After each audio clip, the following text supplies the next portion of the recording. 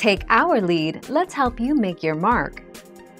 Our goal is your satisfaction. Let us show you the way. Catalytic converters contain platinum group metals that are very price efficient, making it a premium item to purchase for recycling companies. Catalytic converters are made up of numerous precious and valuable metals, including palladium, rhodium, platinum. 1 April 2019.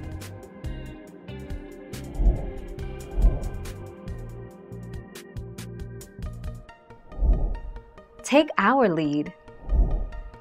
Thieves target catalytic converters because they contain precious metals, like platinum, palladium or rhodium, that are valuable to metal dealers.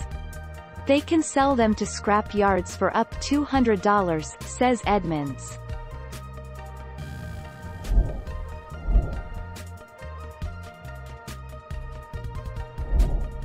Take our lead.